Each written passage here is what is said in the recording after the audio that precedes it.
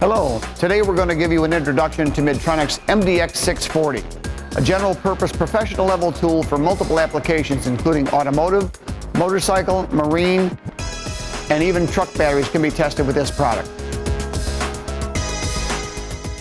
When you first hook up the, the tester to the battery, it comes up and gives you the measured battery voltage. To proceed, you simply press enter. Now it is an automotive battery, Again, you've got the motorcycle, marine, lawn and garden, and Group 31 batteries are all shown in there with individual algorithms for those appropriate values.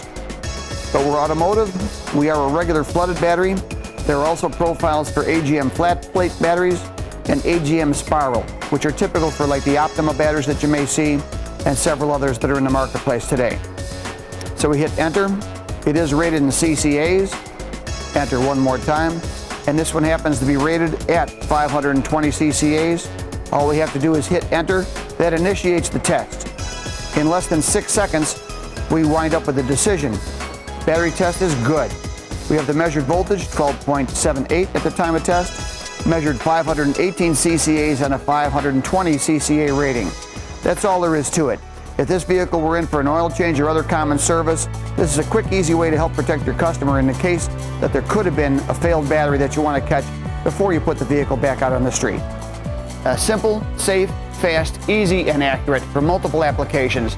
This is the best way to help make money in your shop and protect your customers with the right decision every time.